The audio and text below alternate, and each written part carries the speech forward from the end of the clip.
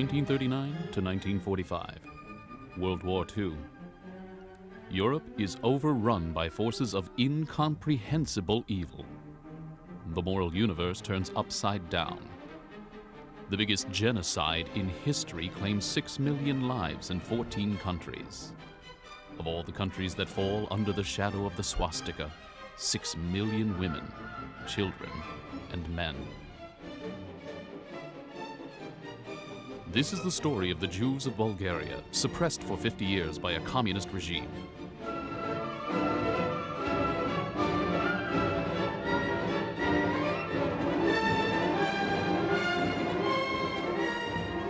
In the summer of 1940, both the Soviet Union and Germany seek an alliance with Bulgaria. Unable to remain neutral, Boris III chooses Germany to keep German troops from occupying his country and to ensure economic survival. As a result of the alliance, Boris must initiate anti Jewish policies. The king's decision to side with Germany is embraced by a small fascist minority, led by Prime Minister Bogdan Filov and his key ministerial subordinates. One of them, Alexander Belev, an ambitious young lawyer, drafts a series of anti Semitic laws, patterned after the Nazis' racist Nuremberg laws. In my class, for example, there were three Bulgarian boys of Jewish origin. One day they came into class with yellow stars. I still remember the feeling of great embarrassment we all had. We had been together for years, and then suddenly these three of our classmates were being treated in such a humiliating way. Then we felt isolated And not everybody could look us in the face and, and, and agree with what we were subject to. We didn't have access to the culture in Bulgaria because after curfew we couldn't go to the opera, the concerts, or everything else. I mean, that started after 8 o'clock at night. Имахме специален час. we had a special curfew.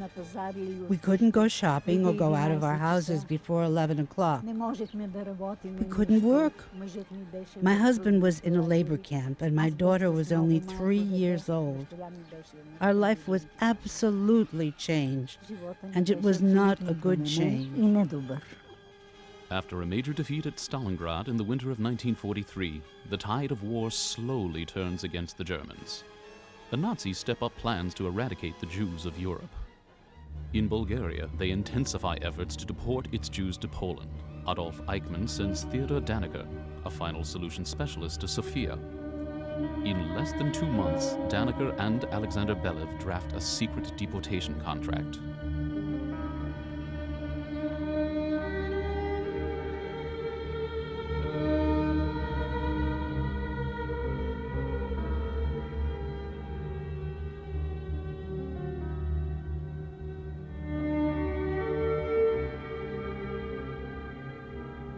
Soon the horror begins. From the territories of Thrace and Macedonia, recently ceded to Bulgaria by the Germans, 11,000 Jews are sent to the Polish death camps. They don't have Bulgarian passports. They're still Greek citizens. Only 12 of them survive. Shortly after, Dannecker and Belev set in motion their plan to deport all Jews from Bulgaria. But this plan is far too ambitious to be carried out in secret. Баща ми присъства 43-та година, месец някъде. In February 1943, my father attended a reception organized by Belev. Suddenly, a German delegation arrived at the reception with Theodore Dannecker. All of those guests who spoke or understood German were told to leave the room. My father was interested in what was happening, so he said that he did not know German and was allowed to remain. He then learned about the written agreement between Germany and Bulgaria for the deportation of Bulgarian Jews. News of the deportation quickly spreads. Led by Dmitry Peshev, deputy head of the Bulgarian parliament, and Metropolitan Stefan, the Archbishop of Sofia, public protests reach a boiling point. For a few hours, terror, panic, and fear escalate. The trains are already waiting.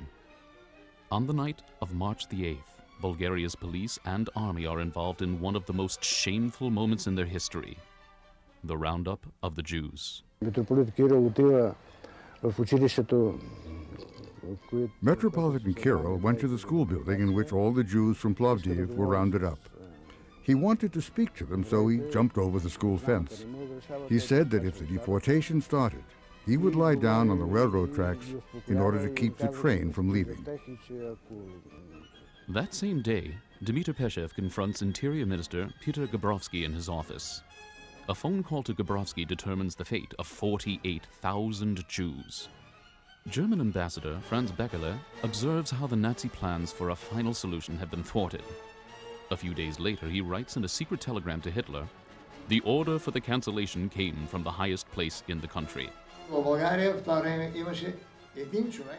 In Bulgaria, there was only one man who could say yes or no. Both sides were waiting for his answer. This man was King Boris. But Nazi pressure on the king continues to build. Two months later, he is presented with a second extermination plan. He refuses to sign it, and 48,000 Jews remain in Bulgaria. In mid August 1943, Hitler summons Boris to his Wolfenschanz retreat in Prussia. The meeting ends with Hitler in a rage. But the Jews of Bulgaria remain in their native land until the end of the war. No one is sent to the death camps of Poland. Historians can debate who is most responsible for saving the Jews. We are talking of one country which did not allow the deportations. This was the only country in Europe which saved its Jews while suffering hard times. I, as a man who was saved from the Holocaust, do not care if the king saved me because the Russians were at the gates. To me, it is important that he did it. I would not say he was the main factor which saved us. There were also the protests of the Bulgarian intellectuals and the delegation from Kyustendil. Our saving was not accidental. As a rabbi, I should thank God for our survival, but this is not possible. If God was the savior of Bulgarian Jews, he would also have saved Jews in Thrace and Macedonia, Hungary, Romania. It was not God's will, but something that was done by men. And what became of these men? Members of parliament, church leaders, members of the royal court, all those who risked their lives, families, careers for their Jewish neighbors? Thirteen days after returning from Wolfenschanz, Boris dies under suspicious circumstances. Dmitry Peshev's selfless act of humanity costs him public humiliation and his brilliant political career. The Communist People's Court sentences him to 15 years in prison. Under the communist regime, many of the other men are tortured, beaten, imprisoned, or executed. It is only now, after the fall of the communist government in 1989, that the truth can come to light. As it is said in the Talmud, if you save one human life, you save a whole world. The story of the Bulgarian rescue, still not well known, is one of the brightest pages in the history of the 20th century and deserves to be told and remembered.